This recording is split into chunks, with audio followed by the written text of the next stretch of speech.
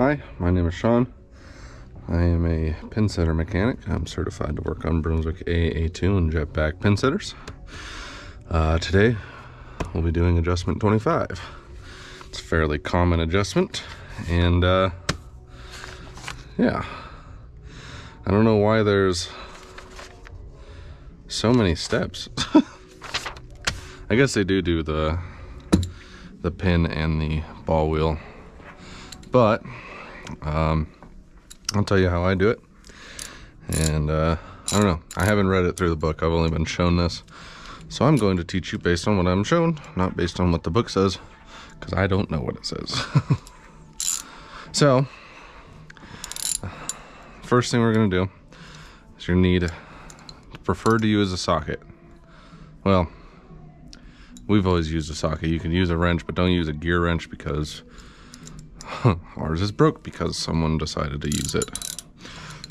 So, anyways, go ahead and loosen Here are your U-bolts.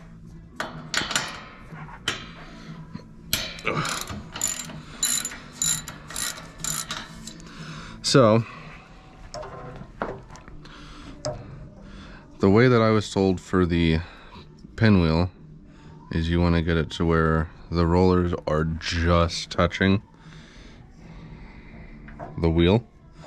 You don't want to put it to where they're super, super tight because I heard that that, ooh, I heard that putting it super tight is going to cause the pinwheel to bind. Okay.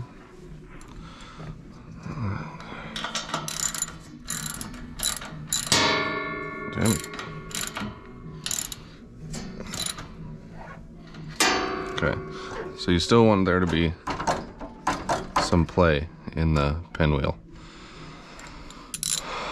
Um, so next would be the ball wheel. And the ball wheel, you have to take tension off the belt. Same thing though.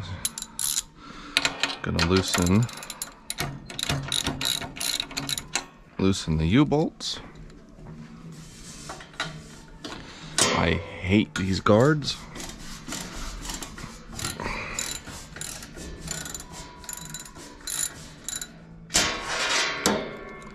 Okay, so the reason that we take this pulley off or take tension off the belt is because sometimes you'll get the ball wheel, uh, yeah, the ball wheel in there floating around and taking tension off that will kind of uh, let everything kind of sit down like it's supposed to.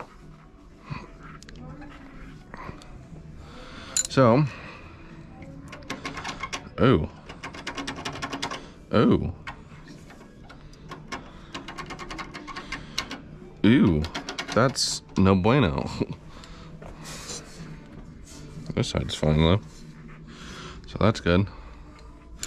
All right, well, tell you what. So I always get hand in there, kind of pull it close as this one is the exact opposite of the pinwheel. You want this one to be as close to it as possible.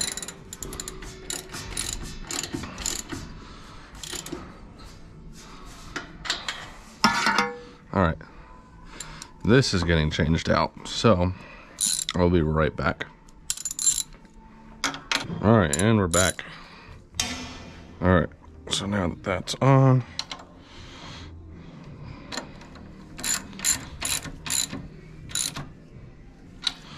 that's on. Okay. Then you want to go ahead and put that back on. That's it. Simple as that. Just want to make sure your pinwheel is just touching enough uh, to make contact. You don't want to squeeze it. Um, and then the exact opposite with your ball wheel. You want to make sure that's as close there as possible. But before doing that, you want to make sure that you take tension off the belt first. And then you should be good. So, if you have any questions, please leave them in the comments below.